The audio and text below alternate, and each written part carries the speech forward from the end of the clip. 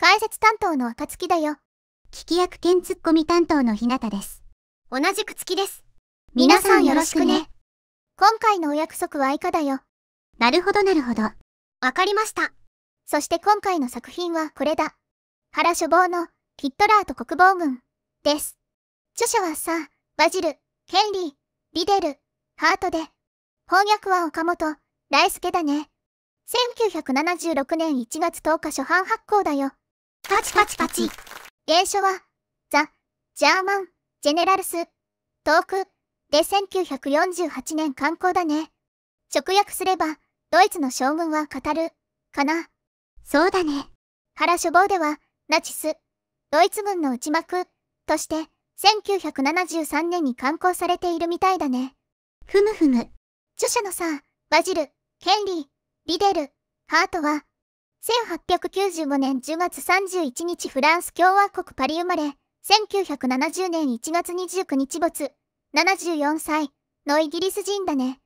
1914年11月に第一次世界大戦に参加しているね。えー、っと、7月28日が開戦だから、たった3ヶ月ですね。早いですね。そんな感じで何度か戦闘を繰り返し戦後は著述活動をしているよ。軍事史研究家、軍事評論家としてしっかりした実績があるね。日本のなんちゃって評論家とは違うよ。いますよね。なんちゃって軍事評論家。いるいる。第二次世界大戦前はドイツとの妥協を訴えたようだよ。ほほ。完全勝利をしようと思えばイギリスは財政的に無理だとのことで、この辺り敗北主義者と言われたらしいね。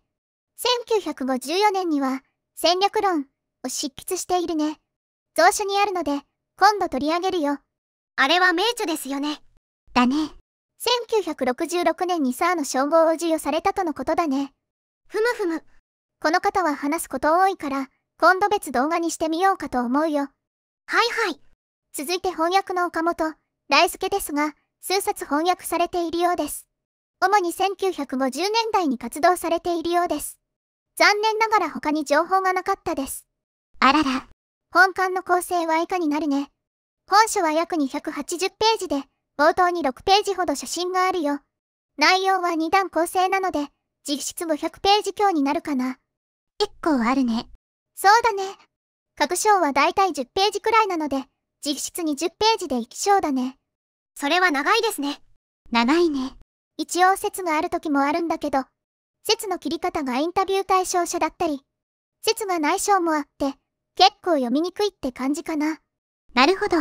ではそんな感じで説明していこう。よろしく本書は戦後すぐにインタビューをしているため、いろいろと錯誤もあるけど、まだインタビューされているドイツ軍人側も混乱しているので、一次資料としての価値は高いと思うよ。それはいいね。全体としては第二次世界大戦の流れを通して、各自のインタビューを交えて推移を説明しているよ。ふむふむ。特にこの4人が多いかな。ギュンター、アロイス、フリードリヒ、ブルーメントリット。1892年2月10日生まれ、1967年10月12日没、75歳。ポーランド侵攻の時から参戦、終戦まで戦っているね。最終階級は国防軍大将だよ。続いてエバルト、フォン、クラエスト。1881年8月8日生まれ、1954年11月13日没、73歳。やはりポーランド侵攻から参戦。主に、クライスト装甲集団と呼ばれる機甲師団を率いているね。フランス、ソ連とまるで馬車馬のように使われている気がするよ。はあはあはあ。しかし、戦後はアメリカの捕虜だったんだけど、そこからユーゴスラビア経由で、ソ連に渡され、収容所で最後を迎えるよ。それは、続いてゲルト、フォン、ルントシュテット。1875年12月12日生まれ、1953年2月24日没、77歳。この人はほんと初めから最後まで戦ったって人だね。ポーランド、フランス、ソ連と転戦し、D-Day の時の西部戦線では司令官だね。ちなみにロンメルはこの時ルントシュテットの部下ね。ほほ。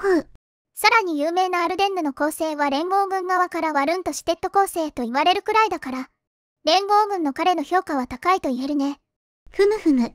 戦後は高齢のため、裁判中にも何度も倒れたらしく、釈放され、しばらくしてお亡くなりになっているね。続いて発祖、フォン、マーントイフェル。1897年1月14日生まれ、1978年9月24日没。81歳。彼はバルバロッサ作戦でモスクワまで、あと少しというところまで進出した人だね。後にアフリカ聖戦にも転戦しているよ。戦後は西ドイツの政治家として西ドイツのドイツ連邦軍設立に尽力するよ。そんな感じで各々のインタビューで内容を保管しながら構成しているね。ほほ。第二次世界大戦を俯瞰でき、当事者たちの意見も交えて読めるので、なかなか読み応えあるね。それは貴重ですね。で、これは今でも入手できるんですか？はい。購入できるよ。前回の反省を踏まえて、しっかり調べたよ。えらい。タイトルは若干変わっているけど、今でも原書房から刊行されているね。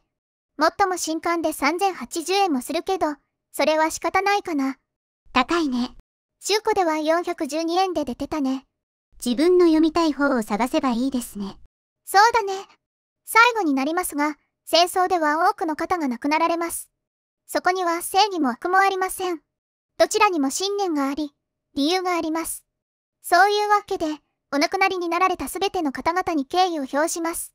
一同、敬礼。敬礼。ということで今回は以上となります。まだまだ不慣れなところがありますが、チャンネル登録、いいね、コメントをいただければ幸いです。それでは、皆様、まったね